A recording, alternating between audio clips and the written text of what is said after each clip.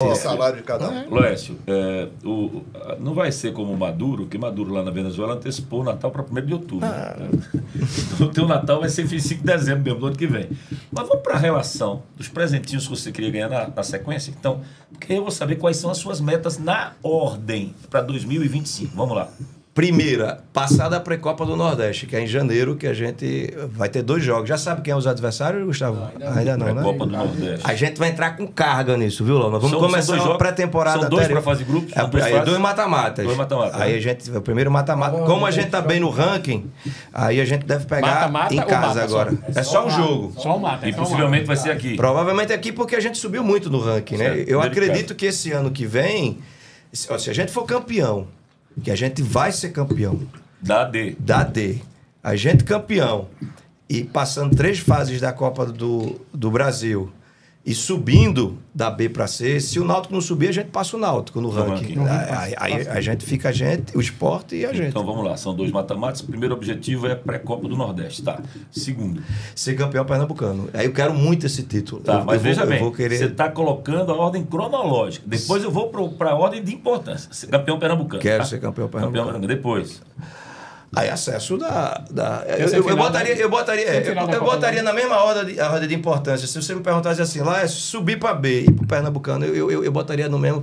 Eu vou dar uma importância para o Pernambucano muito grande, porque eu entendo que a gente precisa muito desse título para se solidificar aqui no Estado. Acesso a B é. ou título estadual está é. no mesmo patamar. Copa do Nordeste, semifinal? Eu quero chegar na semifinal da Copa do Nordeste. Da Copa do e Nordeste. passar três fases, no mínimo, da Copa do Brasil. Esse é o planejamento da gente para o ano que vem. Três fases, Copa do Brasil. E, e, aí pronto. Como é que se faz um planejamento de clube? Vocês devem saber, mas a gente faz isso. Eu vou para minha casa de praia, bota um monte de cerveja.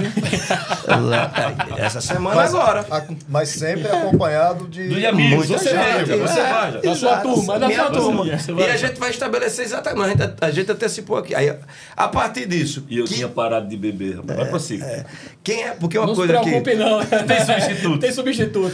Uma coisa que eu, eu também vim e falei isso, já falei lá atrás, falei para os jogadores e, e, e, e tô dizendo aqui, a gente teve uma conversa muito particular antes do jogo. Eu disse, ó. Confie em mim como vocês confiaram até agora. Eu sou um cara muito grato. E muita gente fala que futebol não tem que ter gratidão. Eu tenho muita gratidão. Você vai ficar com todo mundo? Claro que não. Né? Mas vou ficar com boa parte que queira ficar dentro das condições que a gente estiver estabelecendo. E, e, vou contratar também, porque a gente precisa melhorar muito o elenco da gente. Esse time Esse de é o profissionalismo. Pois é. Esse é. elenco de hoje. E quem não ficar comigo, já eu vou ajudar muito se quiser ir para outro local, para que vá bem para outro clube. Tem um compromisso só... total com Um minutinho, Léo. 614 pessoas ao vivo. E quantos likes? Quantos? 249. Oh, Gente, cara, bora 500. galera, bora galera. Like, é bora. de graça, é de graça. Aí, bora. Não cobra, não. Vai chegar uns é, 400. Você falou grande parte do elenco deve ficar com você. Né? Veja, eu também estou imaginando assim, eu, eu, eu, tenho um compromisso, mas eu vou conversar com o treinador, vai ter um treinador, não sei se é Itamar ou se vai ser outro, né? Mas... Mas, mas a pergunta é a seguinte, é. A gente discutiu muito isso aqui no Traíras ao longo desse, dessa campanha do Retrô. A gente dizia assim: esse elenco do Retrô, ele não é elenco de D. Ele é elenco Claro. Esse elenco ele já não é suficiente para ter o acesso, para ficar entre os oito, depois ficar dos é. quatro. Eu confio dois. muito Léo, no, nos jogadores. Agora, veja, como eu falei, é, tem uma série de fatores. O jogador também se valoriza, já foi jogador, é, pode ser que ele imagine que ele vale um, valo, um valor e eu vou dizer que é o meu, entendeu? E aí é um processo de negociação. O reforço é bem-vindo. Pois é, eu acho. Agora, a equipe foi bem, mas sempre existe uma Esse laguna, grupo, eu queria poder falar. Que não foi, que não bem, né? Individualmente de cada um deles. Assim, eles assim detalhadamente, né? Eu, porque eu conheço todos, velho. Assim, e, e, e, assim, eu vou dizer, eu tô no futebol. Conhecer não é saber o nome. O, o, o que Laércio está falando é muito importante, porque a, a identificação do presidente, Sim. do dono do clube, com cada atleta, sabendo é. onde ele mora, o que, é que ele precisa mais, qual é a deficiência dele, Olha, qual é a ideia dele, o que, é que ele pensa. Dizer, isso é bom e é ruim, vou lhe explicar por quê. Eu ia perguntar isso agora, Inha? Sabe por quê, Léo? A gente Edmundo, criou. Edmundo do Palmeiras deu uma, deu uma entrevista quando ele jogava no Palmeiras. Eu nunca conheci o presidente do Palmeiras. Eu nunca tive contato. Os jogadores não tinham contato com o presidente é. do Palmeiras. Naquela época, o Palmeiras tá Parmalat e tudo mais. Ele nunca teve. E aí você já toca um outro ponto. Eu vou lhe dizer o que é, o que bom, é bom e o que é, é ruim. Tá. E é uma coisa que a gente precisa ter já para 2025, porque na minha vida tudo é evolução. O que é bom é que a gente entende a intimidade e conhece o cara numa profundidade que a gente se envolve com. Eu, eu sou um cara muito humano mesmo, eu gosto de entender a pessoa. E o que é ruim? É a mesma coisa. Sabe é o que é ruim? Demais, não, não, de minha parte eu sou tranquilo nisso. Sabe qual o que é ruim? E o que aconteceu nesse elenco, que, que a gente tem que tomar cuidado, principalmente em quem a gente vai trazer para o ano que vem.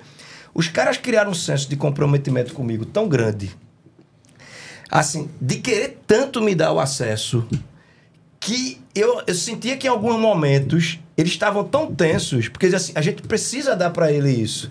Isso, em algum momento, atrapalha o cara na, na hora de, de tomar uma decisão, de atacar mais ou menos, de. A, a, o desejo. Tanto que eu, eu, quando chegou nas finais, é, agora na, na, na reta final, já entrando na, nos mata-matas, eu ia para lá e eu dizia, meu irmão, eu só peço para vocês joguem, relaxe. Porque eu, eu, eu tenho que tirar aquele peso e é esse nível de comprometimento. Então, a gente precisa tomar cuidado com isso, assim, quem a gente vai trazer, porque o cara, eu não vou deixar de me envolver. Isso é a característica do clube. Agora vai ter que ter cara que consiga se envolver também, mas que na hora do, do, né, do rendezvous, né? Eu acho que o fato da gente ter saído da D vai dar uma, D vai dar uma tranquilidade muito grande, porque a D ela é muito injusta. É um campeonato assim. São campos horríveis, assim, vestiário. Vestiário né, do, de lá do Brasiliense, assim, um negócio terrível. É então, era, é realmente, tem uma frase de um, um, executivo aí, como é o nome dele, que ele chama futebol brasileiro, a série D do Calabouço. Calabouço Acho que é o Lucas, né? É. Andrino, né? Lucas Andrino. É verdadeiramente o calabouço do futebol brasileiro. A Pô. É muito. E outra coisa, é muito difícil. Quem tá dizendo assim que é fácil. São jogos, você vai jogar lá contra o CSE, o cara fala, pô, não, CSE. É. Tá maluco, é difícil demais a gente jogar lá contra o CSE. Pra ganhar pros caras lá foi bronca, primeiro jogo 0x0. Eu, eu, acompanhei o, o, o, Santa em toda a escalada dele, que a gente transmitia os jogos do Santa Cruz pela TV Nova, quando ele foi sair da C, da D para C, e na narração, inclusive, que eu fiz para na final contra o 13, eu fico emocionado, porque tinha 60 mil pessoas marrudas. Quando eu digo, senhoras e senhores, o Santa Cruz abandonou o quinto dos infernos, o Santa Cruz está na Eu lembro disso. E olha, cara, é, é, é a gente foi para Cururipe, a gente é. foi para Belo Jardim, o Santa jogou no campo do SESI, lá em Belo Jardim. Então, a gente via as dificuldades, não tinha que parar, ah, vamos almoçar agora, não tem, não tem restaurante no trajeto. Parava numa padaria para comer alguma coisa. Vou estar dando uma dica pro meu amigo Bruno. Quer ver uma coisa muito complicada para um clube como o Santa Cruz sair da Série D? E aí eu acho que tem que ter um engajamento da imprensa, da torcida e dos jogadores. Eu vou explicar qual é. Para você estar tá numa Série D, jogando num clube como o Santa Cruz, que é um clube de massa, você teria que trazer jogadores que consigam aguentar aquela massa. Esses jogadores não vão jogar a Série D. Então, se o Santa Cruz conseguir convencer alguns, já é um. Porque precisa desses caras. Uhum. Por quê? Vai chegar na reta final, e o Santa Cruz vai chegar na reta final. Você pega o Arruda 40 45 mil jogadores, eh, torcedores. E um atleta que foi bem na primeira fase, mas nunca passou por essa experiência, ele vai, vai ele vai sentir. Então veja, um clube de massa, como o América, como o Santa Cruz, quando ele cai para uma série como essa, é muito difícil ele sair. Porque a pressão é muito grande. E aí você precisa de jogadores que consigam é, é, absorver essa pressão, mas esses jogadores muito provavelmente não vão jogar uma série D. Então, eu consegui trazer alguns atletas, é, assim como o caso de Fernandinho e outros, muito pelo convencimento mesmo. Mas não é fácil, entendeu? Você imaginar, o cara vai jogar a Série D pelo Santa Cruz. Um, um cara que tem uma Série C e uma Série B. É, ele vai dizer, porque vai todo mundo em cima. Com quem é, é, que eu vou jogar? Aí vem o envolvimento, Laércio. Você, quando falou em envolvimento, se é bom ou é ruim, eu acho que é, é muito melhor Sim? se envolver do que do não. Que não. É, eu, vou, eu tive uma experiência em Portugal. Quando eu fui contratado, eu fiz um contrato de cinco anos numa equipe série B, mas com investimento alto, um Sim. empresário. Sim. É, assumiu durante seis anos o, o time que eu joguei lá, o, o Beira-Mar. É, e ele se envolvia. Ele era um cara, foi um cara fundamental. Você dá, eu, por exemplo, quando cheguei, fiz um contrato, estava cinco anos. Sim. Né? Portugal ganhando em, em dólar. Não, é. Na época lá era escudo, mas recebia em, dólar. em dólar. Aí eu falei assim, mas aí o envolvimento foi tanto que eu dava minha vida, eu dei minha vida. Sim? Fiquei Tá tão anos envolvido, né, com- Envolvido. É. Você Por, falou por causa do presidente. Você falou do Santa e a gente acompanhou aquele acesso do Santa. E sabe por que o Santa so- sobe? Porque ele pega jogadores cascudos, mas que tinham algo a mostrar para o mercado. Isso. Denis Marques. Sim. Denis Marques estava parado, pô. Sim. É, o, André, o, o André Dias, reserva do Denis Marques, É. ele também cria mercado. Então o Santa pegou um time que era Precisa sabe, de resgate.